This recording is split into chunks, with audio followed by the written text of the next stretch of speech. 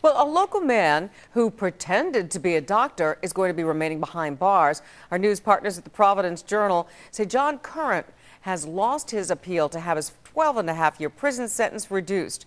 Curran was convicted in 2006 of wire fraud and money laundering.